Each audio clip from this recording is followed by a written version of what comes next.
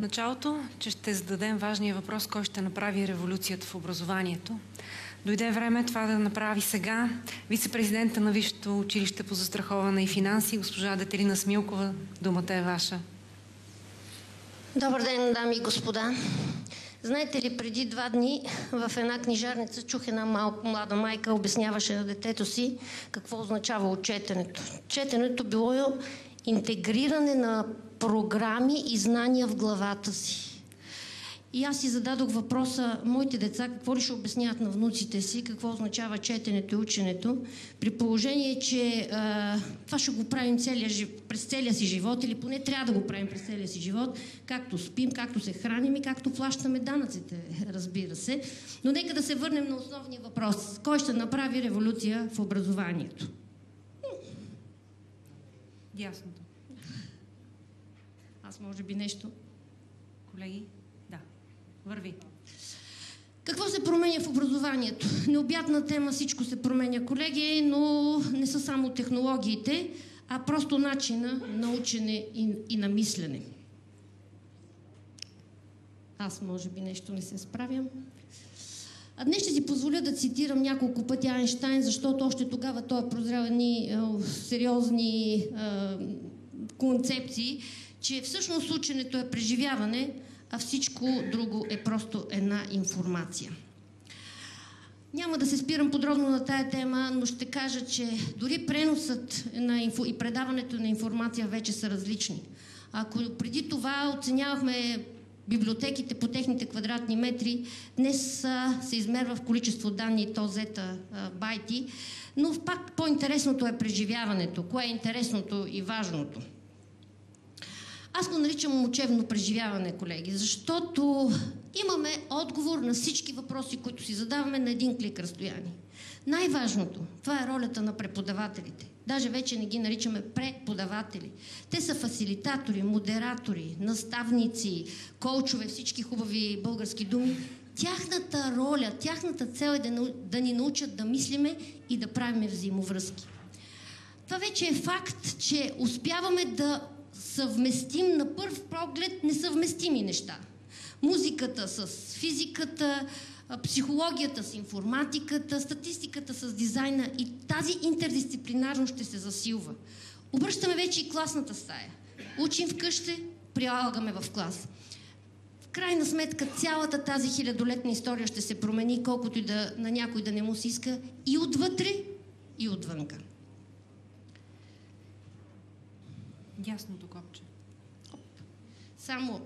А, този слайд не исках да го пропускам, защото едва ли някой е говорил за тъмната страна на технологиите. Това са мои разсъждения. И да ме извините, ако някой не е съгласен. Но технологиите, трябва и да го кажем и това нещо. Технологиите малко демократизираха образованието, както мобилните услуги, както самолетните билети, както достъпа до медикаменти, информация. Понякога технологиите остават учениците и студентите а, без фундаментални знания. Много често казвам на бизнеса, една презентация и решаване на два-три казуса не дава фундаментални знания.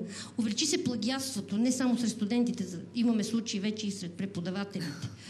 Технологиите правят студентите много разсеяни. Microsoft казва, че фокуса на внимание е само 6 секунди, което е много трудно за преподавателите. Нарушава се това и усещане за общност. Тази дигитализация прави а, студента да, да няма социализация. И едно наистина изключително мое лично мнение, наблюдава се едно нарастване на неуважение, непочтеност ученици, ученици, преподаватели, следствие на отдалечеността и следствие на това, че когато използваш само технологии, а, ти нямаш модел за поддържание. И все пак, кои са двигателите на промяната?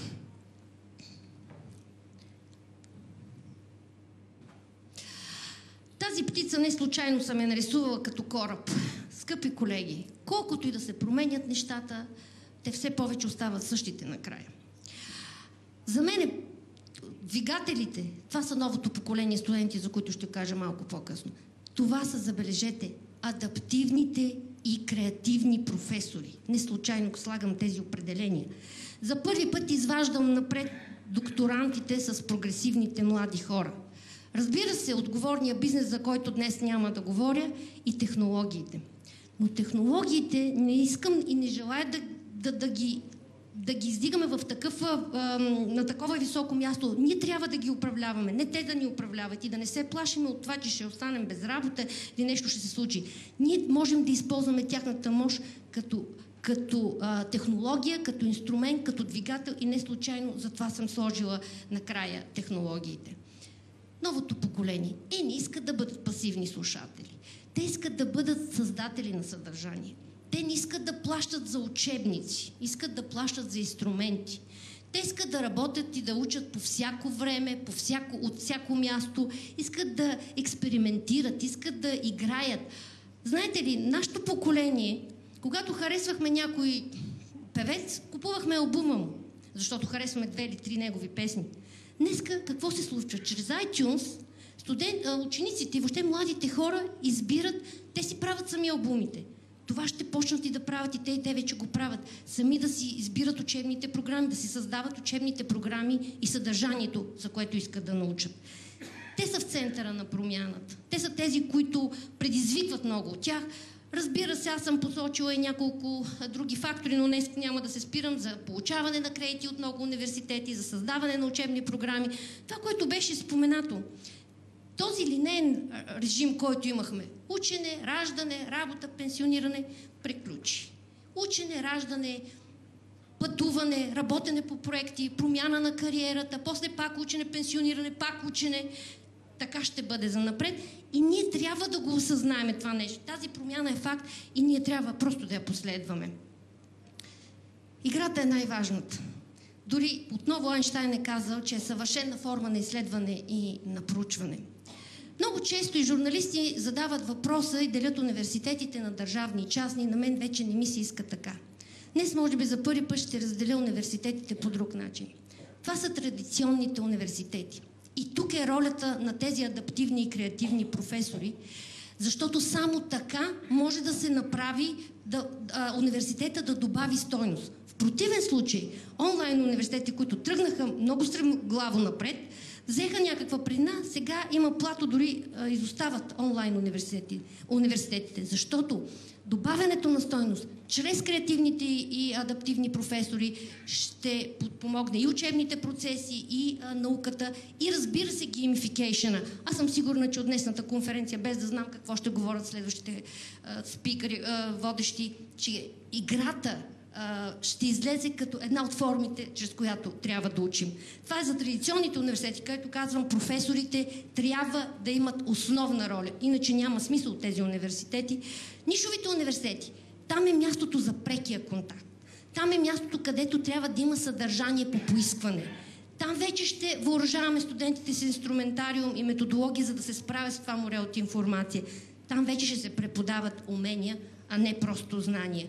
И Неизбежно е тази роля. Образованието е това, което остава, когато си забравиш всичко, което си научил. Идва основния въпрос. Коя е технологията, която ще допринесе за промените? Тази картина я имаше или подобна преди три години на същата конференция. Била съм на много конференции. Няма по-инновативна и по-модерна конференция от днешната. Тя задава тенденции. За тези три години, които изминаха от онази конференция, пак на България ОНЕР, тогава се отчете, че държавата, университетите и разбира се бизнеса са се променили. Те се подобряват. Мисленото се е променило. Но коя е тази технология, която ще направи взаимовръзките между всички тези институции, за да може пътят да не е в ремонт? Там е един от основните въпроси. И всъщност, това е блокчейна в образованието. Нека да не бъркаме с блокчейна в финансите. Това е един инструмент, това е една технология, която е отворена система, която е децентрализирана, в която всичко се случва в, на, на, в реално време, в която със сигурност има проследяемост и тя е сигурна. Прескачам по-бързо този слайд, за да видим къде са ползите на участниците в тази система. Три са участниците. Университетите, студентите и бизнеса. Днес няма да се спра в детайли. Само искам, мислех в следващия слайд да кажа, но скъпи колеги, тук, в тази зала, и ще спомена малко по-късно имената им, което е извинение, ако се забавя много, са хората, които работят по този проект. Ползата за университетите. Това, че те ще имат постоянна връзка с бизнеса. Оправдание от това, ние нямаме, не знаем бизнеса какво иска, ще отпадне. Защото бизнеса ще дава заданията открито. От своя страна, университетите трябва да промотират релевантни курсове. Университетите ще следят развитието и реализацията на студентите. Университетите ще следят достъпа до преподавателите. От своя страна, от студентите какви са техните ползи? Актуализиран поглед върху възможностите на бизнеса. Избор между различните курсове, това за което говорих и малко по-рано, и достъп до глобални възможности за реализация. Ползите на бизнеса са изключително много. Следене в реално време кандидатите на пазара на труда. Това от своя страна ще предизвика някои от третите страни, като рекрутинг агенциите, да им бъде малко по-трудно. Достъп до глобален пут от таланти. Необходим, вече тогава бизнеса ще наблюдава и програмите на университетите и тогава университетите не могат да се крият за това нещо. Гарантиране достоверност на образованието.